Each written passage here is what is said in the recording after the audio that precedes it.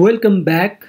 Let me talk about units of land. This talk is about measurement units of land in Nepal. The most popular land units measurement in Nepal is Ropani Ana Poisa Dam, Biga Kotta, Dur, and Matumuri. In valley and hilly area, Ropani Ana Poisa Dam is popular. In Tarai region, Biga Kotta Dur is popular. In case of Ropani, 1 Ropani equals to 16 Ana, which is multiple of 4.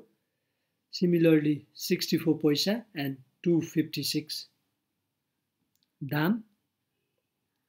Similarly, 1 Ana equivalent to 4 Paisa, 16 Dam and 1 paisa equals to 4 dam and 1 dam which is equal to 1.99 square meter.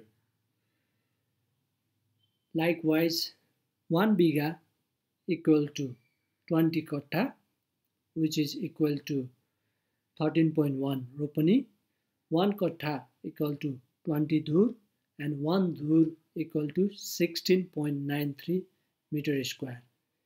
These are also used in hectare and square foot which you can see in this particular table is measurement unit. 1 biga 1 biga equals to 20 kotta which is equivalent to 13.1 ropani and 1 ropani equal to 16 ana these are the measurement system which is used in Nepal. Thank you very much.